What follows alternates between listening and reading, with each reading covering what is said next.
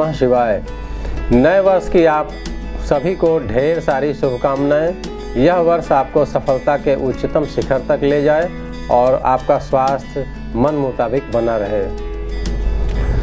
किसी भी राशि का वर्ष फल बताने से पहले प्रत्येक ग्रहों के वर्तमान समय की स्थिति का परिचय आवश्यक होगा।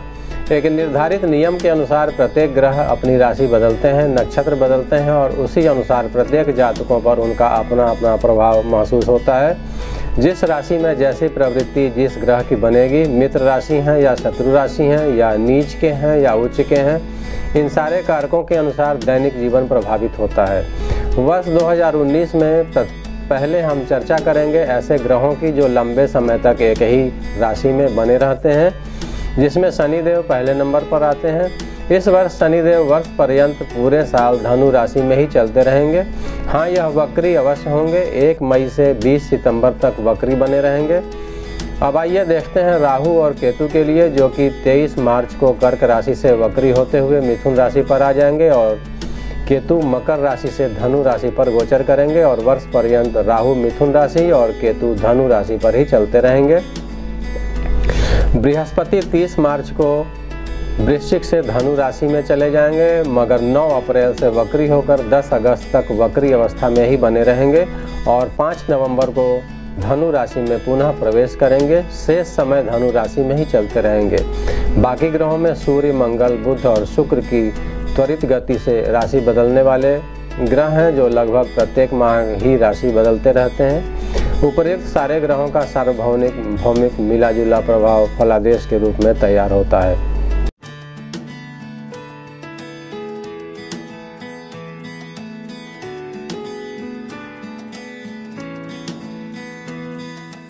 आइए चर्चा करते हैं मेष राशि के जातकों के लिए कैसा रहेगा, आपका स्वास्थ्य कैसी रहेगी, आजीविका कितने सफल होंगे, क्या उतार चढ़ाव आ सकता है, आर्थिक स्थिति कैसी रहेगी, विद्यार्थियों के लिए परीक्षा और प्रतियोगिता में कैसे और कब सफलता मिल सकती है? घर, परिवार, पत्नी, मधुर संबंध और समाज के दायरे को लेते हुए आपके समक्ष प्रस्तुत करते हैं। पहले मोटे तौर पर वर्ष पर्यंत का राशिफल बताते हैं, फिर उसे विस्तार पूर्वक प्रत्येक विषय को लेकर चर्चा करेंगे। साथ ही उसमें वह समय जो आपके लिए विशेष उपलब्धियों वाला रहेगा, उसकी भी विस्तार से चर्चा करेंगे। उन्हें आप नोट कर सकते हैं, ताकि वर्ष भर उसका लाभ ले सकें।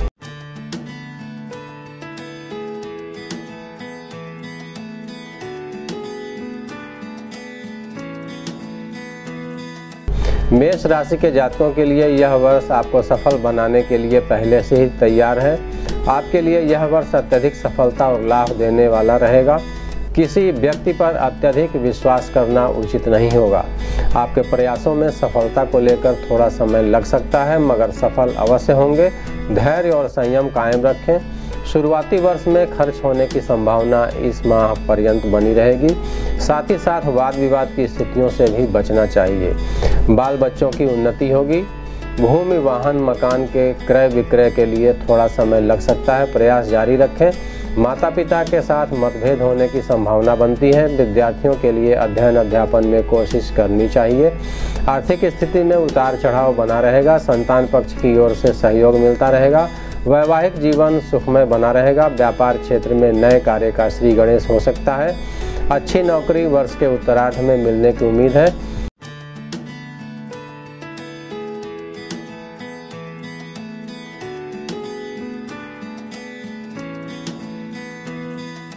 आइए विस्तार से चर्चा करते हैं। वर्ष के प्रारंभ से ही मंगल की स्थिति मीन राशि में बनी हुई है, जो कि 4 फरवरी तक बनी रहेगी। अतः स्वास्थ्य संबंधी संवेदनशीलता उतार चढ़ाव 4 फरवरी तक महसूस होगा। तत्पश्चात आप स्वास्थ्य संबंधी मामलों में राहत महसूस करेंगे। मंगल आपकी राशि पर रहेंगे और यह आपकी राशि पर 21 मार्च तक चलते रहेंगे। इस दौरान स्वास्थ्य उत्तम होगा, जो परेशानियाँ लंबे समय से चली आ रही थी, उसमें चमत्कारिक सुधार होगा और ऊर्जावान पहले से अधिक महसूस करेंगे। हालाँकि राहु की स्थिति आपके चतुर्थ भाव में 23 मार्च तक बनी रहेगी, तत्पश्चात राहु आपके पराक्रम भाव में गोचर कर जाएँगे। जो असंतुष्टि लगभग डेढ़ वर्षों से बनी हुई थी, सारी सुख सुविधाओं के बावजूद भी मानसिक और शारीरिक सुकून नहीं मिल पा रहा था, उसमें भी 23 मार्च के बाद सुधार होने लगेगा और संतुष्टि महसूस होगी। तत्पश्चात मंगल और बृहस्पति का समसप्तक योग कायम हो जाएगा, जिससे बड़े बुज़ुर्गों से तात्कालिक प्रेरणा और सही मार्गदर्शन भी मिलने लगेगा। आध्यात्मिक रुचि बढ़ेगी और हार्मोनल समस्याएँ, जैसे ग्रंथियों से संबंधित समस्याएँ, शुगर, थायराइड इत्यादि में सुधार होगा।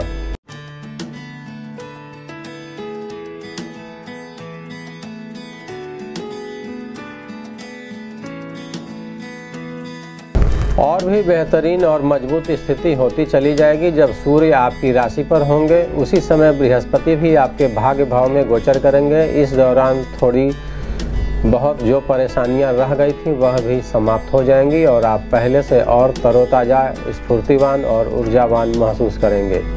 नवंबर माह में बृहस्पति के धनु राशि में आने पर विभिन्न प्रकार की समस्याओं के मूल रूप से समाप्त होने की संभावना हो जाएगी। मगर अपनी आदतों जीवन शैली और खान पान वगैरह में विशेष ध्यान देने की आवश्यकता वर्ष के प्रारंभ से ही होनी चाहिए।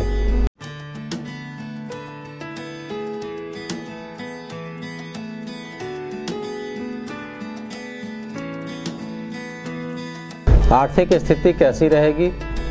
मेष राशि के जातकों के लिए वर्ष के प्रारंभ में ही नई कार्य योजनाओं पर कार्य करना जोखिम भरा हो सकता है। अपव्यय की संभावना बनती है। बिना सोचे समझे हड़बड़ी और जल्दबाजी में लिए गए निर्णय बहुत सार्थक नहीं हो सकते, जिसके कारण दुख और उत्साहहीनता की संभावना बनती है। हालाँकि साझेदारी लाभदायक रहेगी। साझेदारी के कार्यों में बेहतर लाभ हो सकता है। कला और तकनीकी से जुड़े व्यक्तियों के लिए नए अवसर मिलेंगे। बिना प्लान किए हुए या बिना सोच समझकर निवेश करना उचित नहीं होगा। साथ ही किसी पर तात्कालिक प्रभाव से तुरंत विश्वास करना हानिकारक हो सकता है। किसी के प्रभाव में आकर निर्णय लेना उचित नहीं होगा। आपको महसूस होगा कि हर कार्य रुक सा गया है। शनि आपके भाग्य भाव में बैठे हुए हैं, अतः थोड़ी देरी हो सकती है, मगर कार्य अवश्य पूरे होंगे।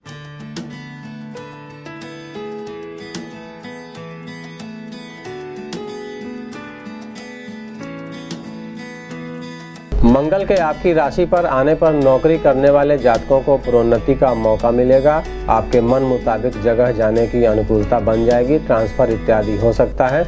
व्यापारिक गतिविधियाँ बढ़ेंगी और कार्य क्षेत्र का विस्तार होगा। यही स्थिति अप्रैल से और भी सुधार में आएगी जब राहु गोचरवश पराक्रम भाव में चले जाएँगे और सूर्य अपनी उच्च राशि, मेष राशि में गोचर करेंगे। ऐसी परिस्थितियों में मन माफिक जगह पर ट्रांसफ़र होना जिसकी आप बहुत दिनों से प्रतीक्षा कर रहे होते हैं, वह अनुकूल समय और परिस्थितियाँ पैदा हो जाएँगी।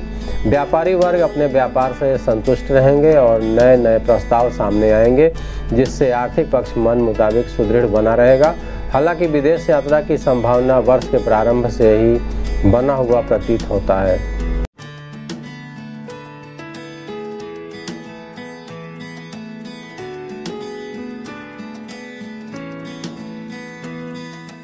विद्यार्थियों के लिए यह वर्ष की शुरुआत सामान्य ढंग से होगी, मगर अप्रैल, मई का समय आपकी प्रतियोगी परीक्षाओं में सफलता की ओर इशारा करता है। आत्मविश्वास बढ़ता जाएगा और विश्लेषणात्मक पहलू में चमत्कारिक रूप से सुधार होगा। यदि संगति से, बुरी संगति से बचे रह गए और अपने लक्ष्य पर केंद्रित रहे तो सफलता निश्चित रूप से मिलेगी। आपकी मेहनत में जरा सी चूक के कारण रुकावट आने की संभावना भी बनती है। व्यर्थ के वाद विवाद से बचें समय का निश्चित रूप से सदुपयोग करें, आत्मविश्वास बनाए रखें और मोटी मोटी बाधा या परेशानियों से घबराने की आवश्यकता नहीं है। पुनः ऐसी स्थिति फिर मिलेगी जब सूर्य मंगल और शुक्र की युति पंचम भाव में गोचर करेगी, जिसका समय अगस्त से 18 अगस्त से 17 सितंबर तक कायम रहेगा।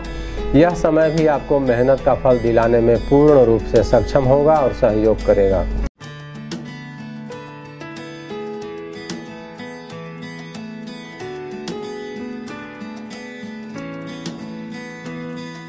पुत्र और भावी संतान के प्रति सहयोगी समय अप्रैल, मई और अगस्त सितंबर का रहेगा, जिसमें संतति लाभ के साथ साथ पुत्र के विकास, उत्थान और उन्नति के मार्ग प्रशस्त होंगे।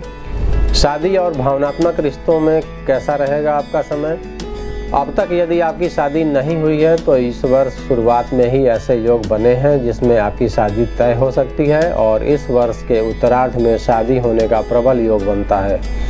इस वर्ष नए रिश्तों की शुरुआत होगी और आप सफल भी रहेंगे। आपके अंदर प्रेम ज़ाहिर करने की हिम्मत भी बढ़ने वाली है और अंतर्मुखी प्रवृत्ति समाप्त होगी।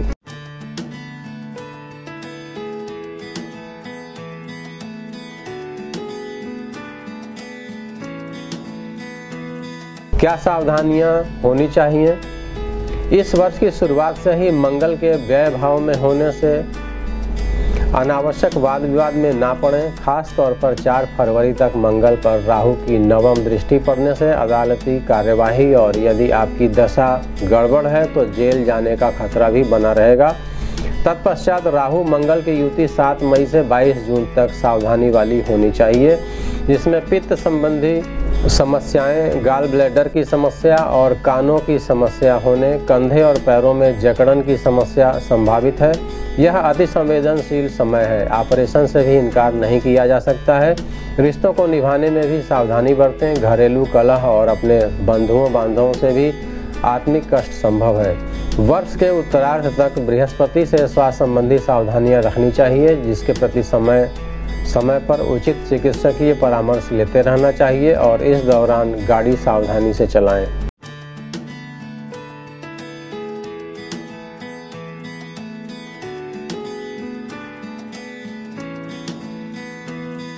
विशेष उपलब्धि वाला समय 5 फरवरी से 21 मार्च तक रहेगा, दूसरा समय 15 अप्रैल से 15 मई तक रहेगा। तीसरा समय 16 अगस्त से 16 सितंबर तक रहेगा, मगर इस दौरान स्वास्थ्य पर भी ध्यान देने की आवश्यकता होगी। ईश्वर, प्रकृति या समय, यह तीन सुनहरे मौके देगी, जिसमें यदि आप, आपने पहले से ही तैयारी की है तो विशेष उपलब्धि हासिल हो सकती है। जिस भी विषय पर आप केंद्रित होंगे, सफल हो सकते हैं। यह वर्ष आपके लिए ढेर सारे अवसरों को लेकर आएगा। ऐसा प्रतीत होता है कि ईश्वर आपकी परीक्षा ले रहे हैं। थोड़ा समय लग सकता है, मगर कार्य अवश्य पूरे होंगे। क्या उपाय किए जा सकते हैं जिससे हर क्षेत्र में उपलब्धि हासिल हो, स्वास्थ्य उत्तम बना रहे, विघ्न बाधाओं में कमी आवे, आर्थिक स्थिति मज़बूत रहे और हर कार्य निर्विघ्न रूप से संपन्न हो। सर्वप्रथम किसी से भी जो भी आप वादा करें, उसको पूरी तरह से निभाने की कोशिश करें। अपने भाई बंधुओं से नेक नियति, पारदर्शिता, आदर की प्रवृत्ति और सौहार्दपूर्ण स्थिति बनाए रखें। इससे मंगल की अशुभ स्थितियों से छुटकारा मिलेगा और मंगल की स्थिति और मज़बूत होगी। बड़े बुज़ुर्गों की सेवा माता पिता का ध्यान रखें। गुरु, अध्यापक या बुज़ुर्गों की यथाशक्ति सेवा करें। बृहस्पति की अनुकूलता मिलेगी और सारे कार्य सुचारू ढंग से संपन्न होते रहेंगे। शिव चालीसा और हनुमान चालीसा रोज करें।